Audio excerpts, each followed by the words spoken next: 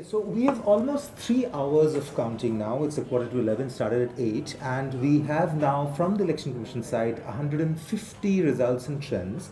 Uh, overall, it seems uh, pretty clear now that the next five years uh, in Patna we're going to have Nitish Kumar uh, and uh, well, I, I, I, I don't see uh, maybe some numbers can go up and go down, but this seems to be the overall trend. So, Seema, um, what do you make of this? Yeah, pretty much. You're, you're very right that that seems to be the drift, and it seems to just it'll just get move in the similar direction. Uh, currently, it's interesting to see how the various alliances shape up within. So you have RJD and BJP with the same number of seats, oh, yeah. which means there's a spectacular performance by the RJD currently exactly. because it contested 86 seats less than the BJP. It contested merely 100 seats, as did the JDU. So the numbers currently suggest that the the whole alliance has worked very well.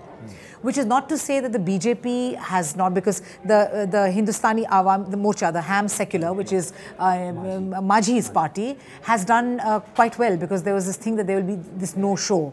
But the BJP has just been not able to push and give it the momentum that it needed to win this election. Because the BJP took a lot of the burden on itself.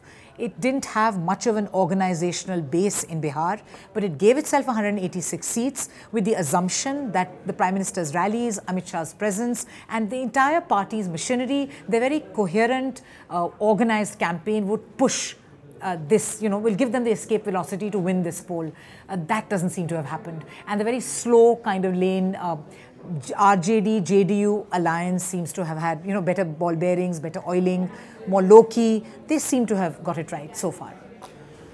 Seema Lalu, um, through this election, uh, the attack of the BJP was on Lalu, the talk of Jungle Raj, and uh, uh, even uh, during the campaign, Nitish, uh, one got the sense right through that uh, he does not seem to be entirely comfortable. That they had only one rally together it now seems that uh, you may well have, I mean, uh, BJP and Lalu at the moment are 44 seats each, uh, but we may just have Lalu as the single largest party in Bihar. So what, is, what does that tell yeah. you about? It, it just uh, tells me that Lalu and BJP have a very good understanding of each other. They're both very political creatures and the BJP knew from the very start that they need to go after Lalu.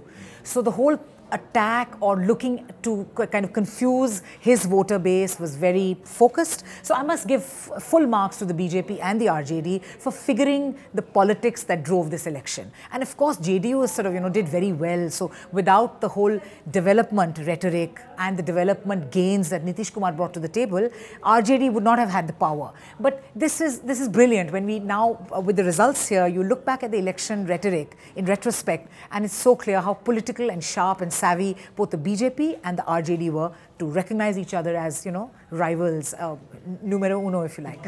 that's, that's nicely put. Uh, we will, of course, carry on with uh, more analysis as uh, trends become clearer. Uh, as of now, uh, clearly, as we said in the beginning, it seems Nitish Kumar in Patna for the next five years.